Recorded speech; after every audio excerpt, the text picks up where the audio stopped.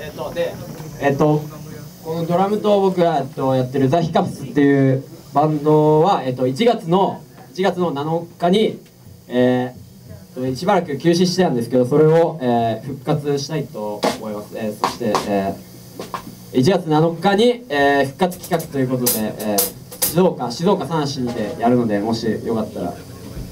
興味がある方はまた声かけてください。